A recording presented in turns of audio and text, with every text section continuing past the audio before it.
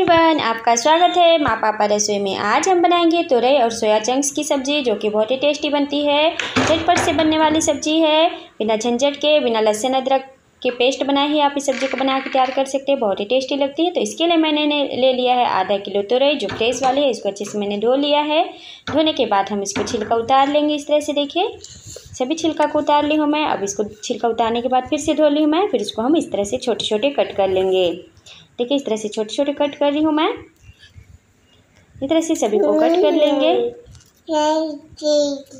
देखिए, अच्छे से मैं सभी को कट कर ले रही हूँ। आप इसको ज़्यादा मतलब कि ज़्यादा छोटे ना करें, मीडियम ही काटें। इस तरह से कट करके इसको साइड में रख ली हूँ। अब ली हूँ एक बॉल उसमें हम डालेंगे सोया चंक्स। इसमें हम गर्म किया हुआ पानी को डाल देंगे।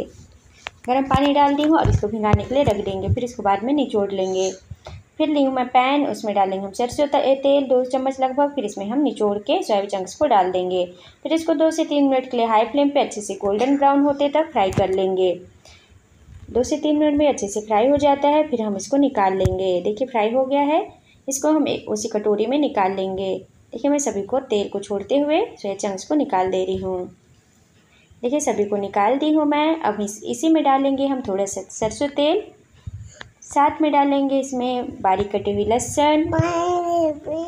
फिर इसको दो से तीन सेकंड के लिए भून लेंगे थोड़े से हाई फ्लेम पे। फिर इसमें डालेंगे बारीक कटे हुई प्याज, दो से तीन प्याज में काट लेंगे। फिर इसको भी भून लेंगे। दो से तीन मिनट पिंक कलर होने तक इसको भून लेंगे। देखिए, थोड़ा सा प्याज का कलर चेंज हो गया। अब साथ में डालेंगे हल्दी, गरम मसाला, धनिया पाउडर, फिर डालेंगे लाल मिर्च पाउडर। फिर इसको दो से तीन मिनट के लिए भून लेंगे। मीडियम फ्लेम पे भूनेंगे। फिर इसमें डालेंगे बड़ी काटे हुए दो से तीन टमाटर। फिर इसमें डालेंगे हरी मिर्च। साथ में इसको भी दो से तीन मिनट के लिए भून लेंगे।